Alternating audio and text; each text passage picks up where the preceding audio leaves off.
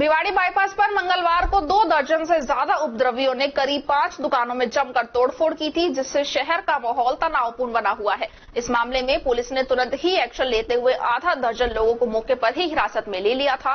देर रात तक चले सर्च अभियान में अन्य कुछ लोगों को और हिरासत में लिया गया है।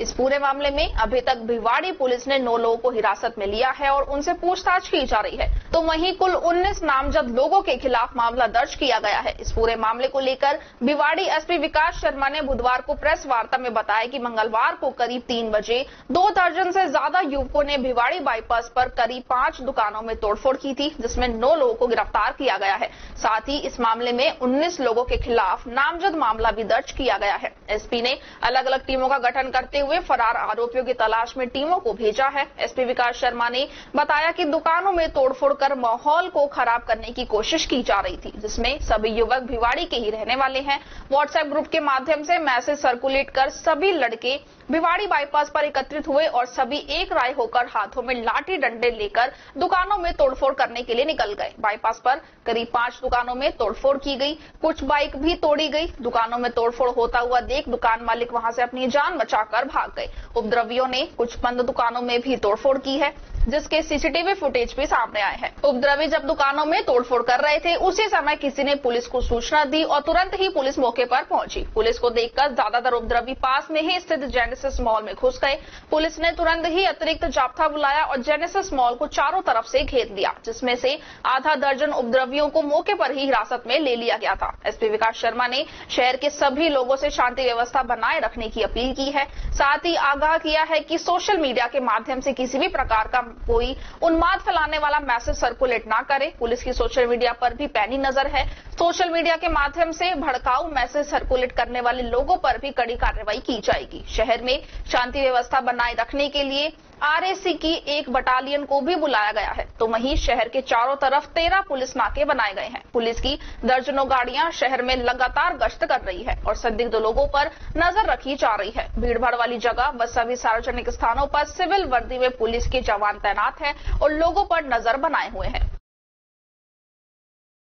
आपको विदित है कल की जो घटना हुई थी इसमें कुछ व्यक्तियों के द्वारा डंडों के साथ, कुछ हथियारों के साथ कुछ दुकानों में तोड़फोड़ की गई। इसी को लेके ये आज मीटिंग, प्रेस कॉन्फ्रेंस रखी गई है। कल ये घटना की सूचना तकरीबन तीन बजे के आसपास मिली थी कि कुछ व्यक्ति हैं जो दुकानों में तोड़फोड़ कर गए। तो पुलिस टीम तुरंत मौके पर पहुँची थी तो पुलिस को देखते हुए वहाँ से फरार हो गई और पुलिस ने सीसीटीवी देखते हुए और अन्य सूचना करते हुए इसमें मुकदमा दर्ज किया है। और नौ लोगों को अभी तक गिरफ़्तार किया। इसमें क्या इसमें गिरफ्तारी की गई इसमें और ये जो हिंसा जो कर रहे थे प्रज्वल फरार थे कहाँ के रहने वाले हैं? ये व्यक्ति मोस्टली लोकल है कोई बाहर का व्यक्ति नहीं है और यहाँ इनके जो आपस में फ्रेंडशिप है इनके बीच में जो एक दूसरे को जानते हैं और इसमें टोटल उन्नीस लोगों को नामजद किया गया है और अन्य भी इसमें संभावना है कि आगे और लोगों को नामजद किया जाए बिल्कुल उनमें से नौ लोगों को गिरफ़्तार किया गया लोग इसमें गिरफ़्तार किसी संस्था से लिप्त है? नहीं अभी तक तो ऐसे सामने नहीं आई है लेकिन अभी ये कहना जल्दबाजी होगी। इन्वेस्टिगेशन और डीप होगी और समय लगेगा तो इस चीज़ को हम और क्लियर कर जैसा आप बता रहे कि पूरा ये युद्ध था पूरा फ्रेंड सर्किल था इनका तो क्या ये जो इन्होंने जो जानकारी जुटाई थी या जानकारी जो दी थी आपस में क्या सोशल साइट्स के ज़रिए इन्होंने उनको जानकारी दी थी या फिर एक साथ ही इकट्ठे हुए थे वहाँ पे? आपस में ग्रुप्स में इकट्ठे हुए एक दूसरे से रिकॉर्ड दे देती है तो वो चीज़ हम अभी जैसे टेक्निकल इन्वेस्टिगेशन करके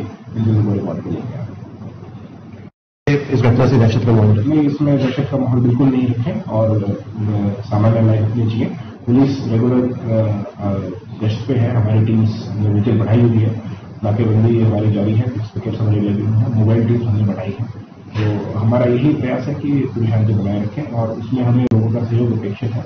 अफवाहों पर ध्यान देते खासकर सोशल मीडिया से चलने वाली अफवाहों पर ध्यान रखें कोई भी अगर चीज़ आपकी संज्ञान में आती है तो पुलिस को इन्फॉर्म करें, पुलिस उसको सख्त एक्शन लेगी जो व्यक्ति माहौल बिगाड़ने की कोशिश करेगा, उसके खिलाफ सख्त सख्त कार्रवाई की की